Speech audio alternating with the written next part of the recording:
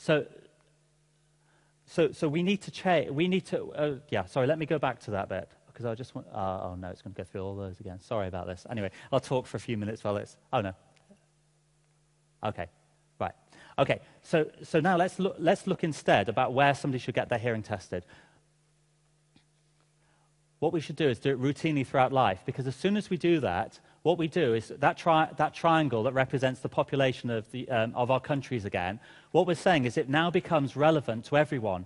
So if people are only coming through our doors because they want hearing aids, we're not relevant to anyone unless they consider hearing aids to be relevant, and we've been telling them they're not for years. But instead, if we're saying we will keep, we will keep your hearing working at its best, we suddenly become relevant to everyone, the whole population. So we're, send, we're getting people to follow the crowd um, you, you get people then that will come in and sort of say, well, my son had a hearing test, or my neighbor had a hearing test and they had good hearing, so I'm having a hearing test because everybody seems to be getting hearing tests. You don't do this overnight, you have to build to it. So it establishes a social norm so that people who don't have their hearing tested is now a problem. Just as it happens with routine eye checks, routine dental checks. And so what as well is that because you're checking their hearing as they go along, that, um, it means that you can detect those changes before they would actually notice them themselves, which means that you lower the threshold of noticeability. Because if you point out in the chart you are missing some of the F's and the S's and the, and the first sounds, then when they go into those conversations, it's like, oh, yeah, right, this isn't because of the situation. This is because I'm missing those sounds. Yeah, I, I hate this. I hate missing those sounds. I'm going to do what I can to bring those back in. In fact, I found that when you take this approach, what happens is people come to you and they say, okay, so I'm missing those things. So what do I need to do? And it's not like you telling them they need to do it and then counseling them to accept it. They're actually saying, well, what's the solution? It, it switches the whole thing round. Because it suddenly it becomes an avoidance of loss. They don't want to miss the best conversation of their life. They want to keep their hearing working at its best because when their hearing's at its best, they're at their best. Ah, I shouldn't say that.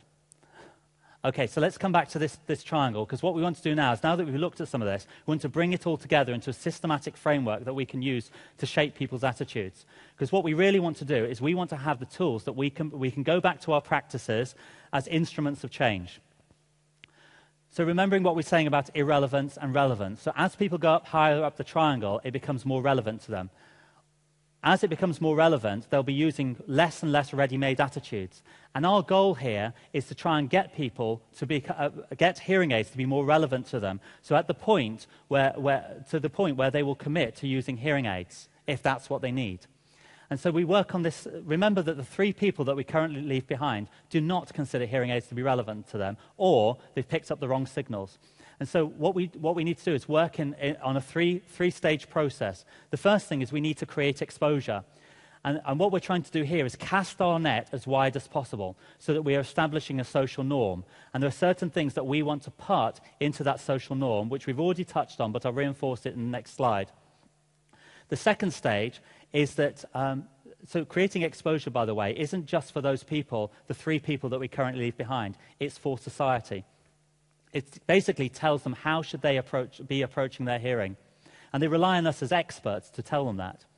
Building encounters. This is the opportunities that people have to encounter our practices, to encounter hearing technology.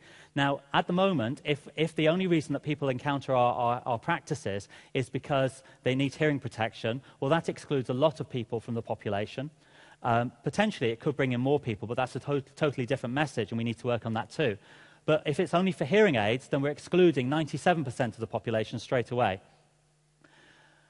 The third thing is that we've got to ease engagement. We've got to make it as easy as possible. So when they reach that point of commitment, we've smoothed the journey for them.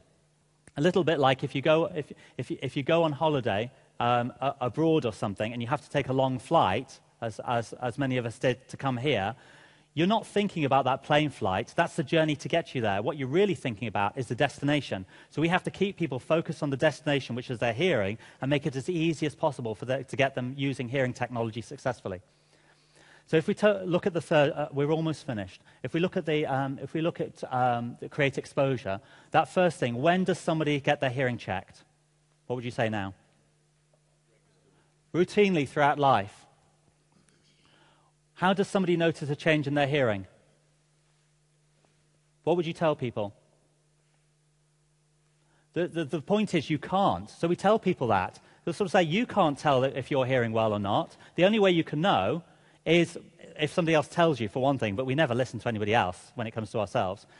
But with routine hearing checks. So it means that if you're not having a routine hearing check, then the chances are you could have a, a, problem with your hearing and everybody else knows, but you don't. And that puts people on the back foot then because we want to avoid social isolation. We don't want the group to think badly of us. Who uses hearing technology? Is it the deaf and hard of hearing? No. It's potentially everyone who appears to be hearing well. Now, this, this, this, is, this is really, actually, a really powerful way forward for us. Because the thing is, if you remember, we said that only 3% of the population use hearing technology. It's not relevant to most people. So if you use it, you're now one of the ones with the condition.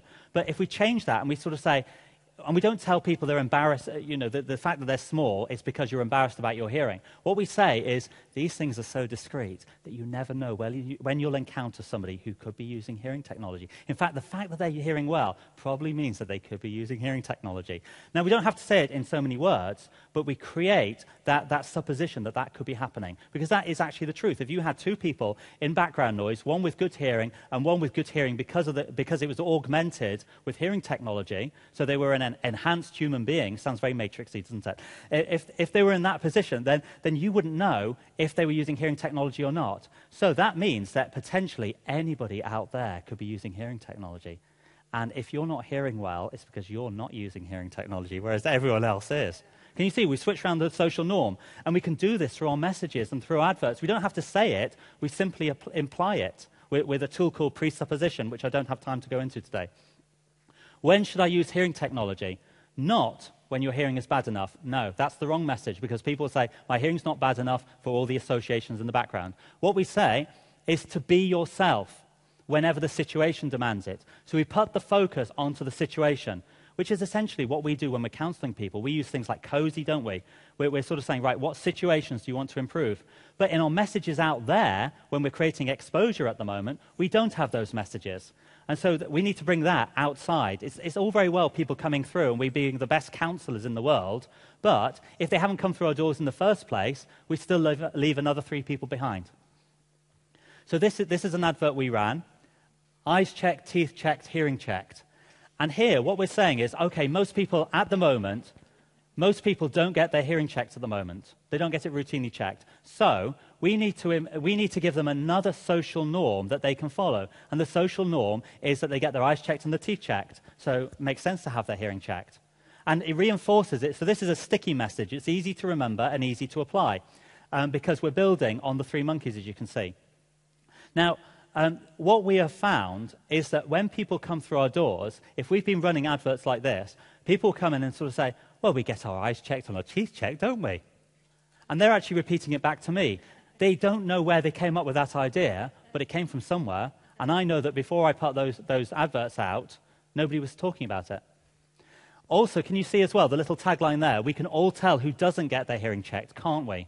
Because we all know people who don't hear well, but we don't recognize it ourselves. So now we create the suspicion that maybe we're not hearing as well, but we wouldn't know, but everyone else does.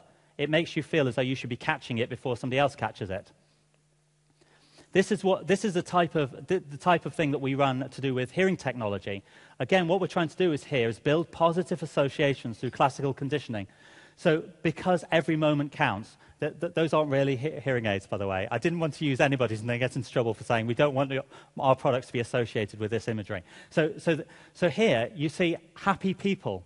You see people of different ages. You see them in, in a situation where, where people want to hear well, and you don't know who's wearing the hearing technology. We're not making a big thing of it. But we're also placing it on the fact that it is that moment and it enables you to be in that moment because your hearing is working as, as, as it should. And people are associating the technology not with the condition, but with how people want to see themselves. Oh, yeah, we, we're also transferring some emotion there because when we look at happiness, it transfers to us too, which is why we catch smiles generally. Sounds like an illness. Right. We build encounters. When we're building encounters, as I said before, we have to be relevant. So for the three people we leave behind, we want to give people reasons to come in with routine hearing checks. We want to say approach with our language, not avoid. So we need to make sure our messages go home, rewrite your website, go home, rewrite your brochures. I'm kind of half serious here. And just, just say, every t- everywhere you see the word hearing loss, see if you can use the word hearing range and change the wording around to make that work. Give the, make sure that the things you want them to avoid are the things that you want them to avoid, not what they think they should be avoiding. So speak in terms of the hearing and not in terms of the, condi- um, in the condition. And finally, we need to make it as easy as possible. So, as I said before, when can these people see me if they're working all the time? Because this is my biggest target audience now. And what do they expect when they're doing business with me? They don't expect to. In the past, people used to save all their money um, after the war, for example, and then they used to spend it, then they used to have all these savings that they could use for investing in their hearing. People of working age tend not to think like that. What models are they using for mobile phones? What models are they using from cars? What models are they using from computers? We need to build that into the way that we do business. Things have changed. So create exposure, build encounters, ease engagements. That's how we reach the three people we, we leave behind. Because for too long, we've, we've seen ourselves as the people who pick up the pieces of broken hearing. And we need to now see ourselves as the guardians of people's hearing to the, the people who equip and empower individuals and society to keep its hearing working at its best. Because they look to us for the lead, because we are the experts. We shouldn't be taking our lead from them and then trying to respond and mend those pieces. We should be saying, this is how you approach your hearing. And so, so, so we need to put our focus back onto hearing. And, and, and we need to guide society. And, and this is going to take some changes. And the thing is that we're going to face people that, that will try to keep the status quo. And we're going to face those who, who, want, to, who want to throw us off our course or, or that don't understand what we're doing. But it's really important that we understand that they will not realize what they're up against because by doing these, we can become instruments of change. Thank you.